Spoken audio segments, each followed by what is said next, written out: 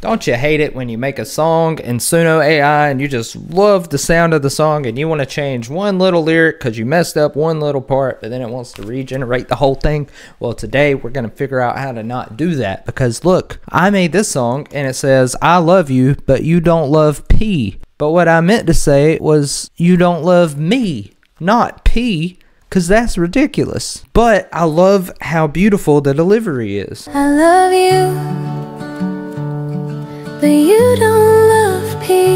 Such beautiful delivery, but she's talking about urine. So I'm just going to click the three dots on this song, going to go to remix and edit, and I'm going to go to open in editor.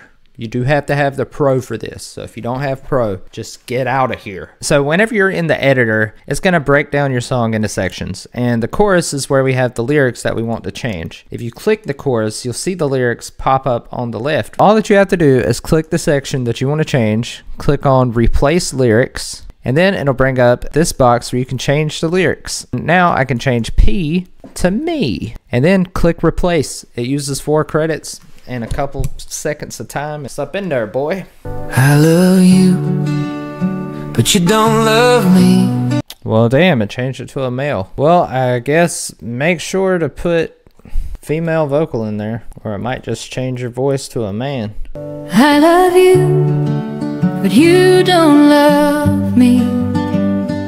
If you did, I'd love you even more. It did change it a little bit. We got to work with the tools we have, but if there's anything else you want to know about Suno AI, let me know down in the comments. And if you want to see other videos, I got them somewhere. Have a wonderful day. day, day.